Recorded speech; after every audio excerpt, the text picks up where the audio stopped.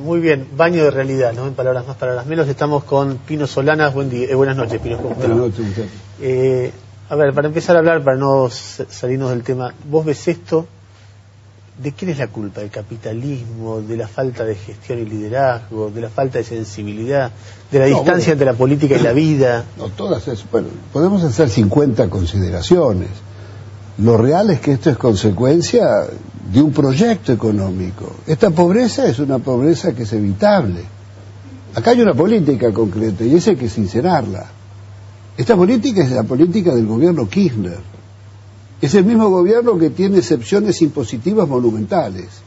En el presupuesto del 2010 hay 6.700 millones de impuestos y se perdonan sin hablarte de todas las rentas excepcionales del petróleo que se extrae a simple declaración jurada con una enorme evasión, las exportaciones cerealeras que son tercerizadas en un 70% y seguimos igual, las exportaciones mineras reciben subsidios, además de ser sin control público, las transacciones financieras, esto es un escándalo. Sinceramente, mejores adjetivos, canallada y provocaciones porque esto es evitable. Ahora, ¿cómo se justifica? Yo les pregunto, ¿cómo se justifica que se cobre la harina tres pesos? ¿Cómo se justifica? ¿Cuál ¿Cómo se justifica que se tomen los precios de los alimentos básicos como si fueran commodities? Los salarios argentinos no están indexados a los salarios de Estados Unidos o de Europa. Entonces, es un robo esto. Esto es un robo, acá no hay ninguna protección. La destrucción del Estado de los años 90 perdura hasta hoy. No hay quien proteja al ciudadano contra el abuso de los poderosos, contra la contaminación. Ahora, Pino, vos eh, ponés el foco en el Estado. Yo estoy seguro que mucha de la gente que está viendo y se indigna por esto que acabamos de ver nosotros, piensa al mismo tiempo, yo no quiero pagar más impuestos. Gente que podría, no quiero pagar más impuestos. Y bueno, pero es que es la consecuencia. Si yo pago impuestos y el Estado no me protege, el Estado hace la vista gorda cuando son despedidos 157 trabajadores y se burla de la ley de conciliación obligatoria y despide inclusive a los delegados gremiales, se burla de la ley. Ahora, todo eso sucede cuando el gobierno está en, en Estados Unidos, en New York, haciendo, haciendo todo tipo de esfuerzos para demostrar en el G20 que son muy buenos y hacen los deberes y dan seguridad a las inversiones extranjeras y toleran que la embajada americana nos dé indicaciones y, vuelven al Fondo Monetario, porque al entrar al G20 tenés que aceptar la auditoría del Fondo Monetario. ¿No hubiera sido vos como presidente? No, no, yo no, no, creo que sea ese el destino de la Argentina. ¿eh? El destino de la Argentina, el mito de entrar a hacer los deberes para entrar al mercado de capitales, así no fue. La Argentina se ha recuperado soportando una devaluación del 200% sin desembarco de grandes inversiones.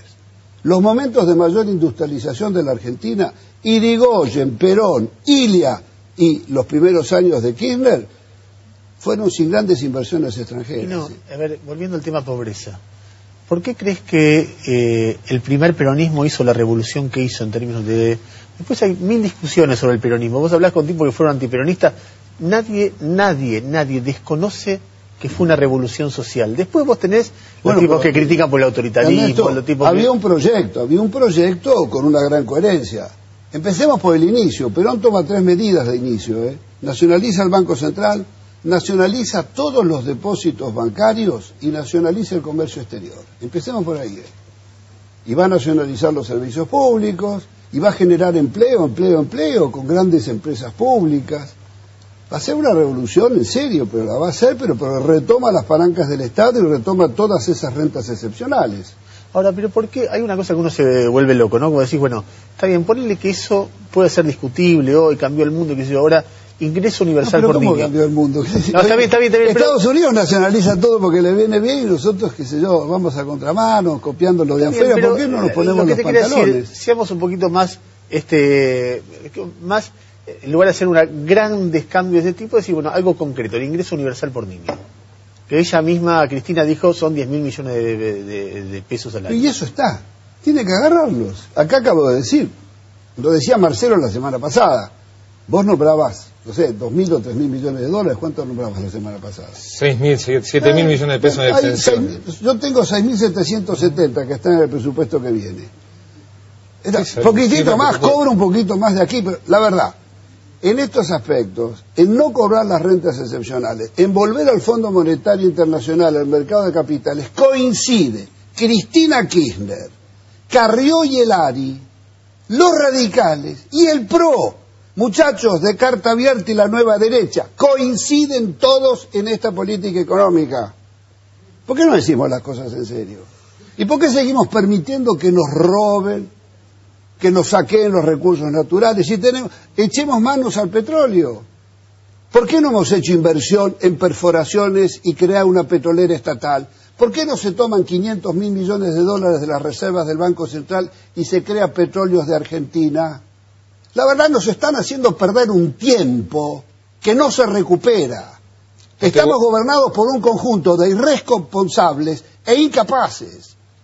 Son, son gente que mira tres metros adelante, no tiene ninguna visión estratégica, Argentina no tiene ningún plan estratégico y después se hacen la boca con Lula. Los brasileños tienen un plan estratégico. Hace años que navegamos como un chinchorro sin ningún plan, apagando un incendio, haciendo demagogia por un lado y ocultando por el otro, sentándose con Peter Mook, el, presidente de la Barrigol en Nueva York, y reprimiendo a los argentinos aquí. Por favor, por favor, en serio. ¿eh? Pino, respecto al tema de Terrabusi, el gobierno argumenta eh, que en general las posiciones de ellos del Ministerio de Trabajo fue defender el empleo, tratar de buscar acuerdo y que acá se encontraron con un territorio muy hostil de las dos partes. Dicen una empresa, Daer mismo dice una empresa durísima y una comisión interna durísima. La escalada entre ellos dejó al Estado con pocas armas, dicen ellos, para poder establecer puntos de contacto en el acuerdo, en el conflicto y, de, y, y- y llevarlo a una solución negociada. Ya, eh, ¿Por qué vos porque la verdad que uno lo ve y honestamente Pero, eh, es una excepción. Es decir, no es que el gobierno reprime Bueno, los trabajadores yo todo el creo- tiempo. Es que yo creo que hay un punto de inflexión, que acá cambia esto. Nosotros dijimos que se adelantaban las elecciones porque el segundo semestre se les ponía muy fulero, las cuentas no le iban a cerrar. El conflicto ya lo tenemos. Ahora, yo creo que eso es embarrar la cancha. En las causas criminales pasa lo mismo. ¿eh? Te embarran un poco la cancha y al final no sabes quién es el culpable, porque estos dicen el otro. No, la verdad, en plena pandemia, exigir condiciones dignas de higiene adentro de la fábrica no es ninguna excentricidad. La fábrica no quiso ir. Esta fábrica de una dureza extrema. La verdad, que vengan los extranjeros, que vengan los extranjeros a hacer inversiones, pero que acaten la ley. Y que tengamos un Ministerio de Trabajo que realmente haga cumplir la ley. Si no la cumplen, sean muy duros en las multas. ¿Por qué no hacen lo mismo en Suiza, en Francia, en Estados Unidos? ¿Por qué crees que la empresa fue tan dura? Bueno, no habrá querido dejar antecedentes. Seguramente hay un plan debajo de la manga. ¿eh? Yo creo que la, la empresa tiene un plan de achicar, cortar, no se sabe si venderá la fábrica, todas estas cosas son posibles.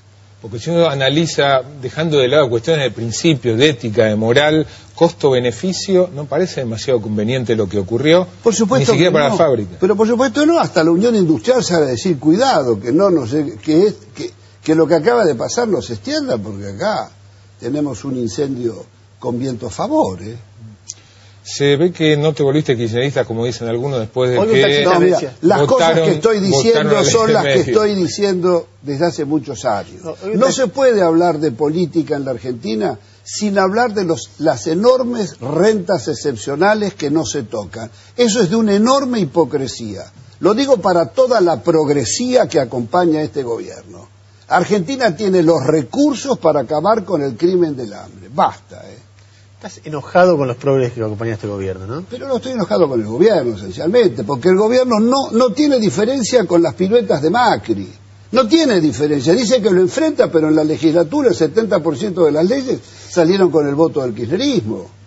Y en eso no se diferencia con los radicales. O hay alguna declaración que diga no entremos al Fondo Monetario. No paguemos la escandalosa deuda odiosa del Club de París. Alguien puede con ese mismo argumento decir, votaron aerolíneas, votaron ley de medios, votaron a FJP, Proyecto Sur que- me yo- refiero. sí, yo, creo que, yo creo que es. eh, esas son las fluctuaciones del kirchnerismo que no sabe ni para dónde se coloca. Nosotros lo dijimos siempre. Lo que es bueno para el país y para recuperar el rol del Estado lo vamos a apoyar. Las leyes no son ni buenas ni malas, ¿eh? las instituciones tampoco. Entonces, algunos me decían, no, pero ¿cómo le vas a dar las FJP a este gobierno? Pero con ese criterio, ¿qué querés hacer? ¿Poner en remate el Banco Nación, el Banco Provincia, el Banco Central? No, por favor. Lo que tenemos que hacer es, la ciudadanía tiene que hacer una auditoría mucho más precisa o una fiscalía mucho más precisa sobre la gestión del Estado. Pino, te agradecemos mucho que hayas venido. ¿eh? Muchas gracias, Este, Marcelo. Gracias. En medio de tanta indignación, supongo que estás disfrutando mucho como juega estudiante. Basta, estudiante. Este, este, gracias.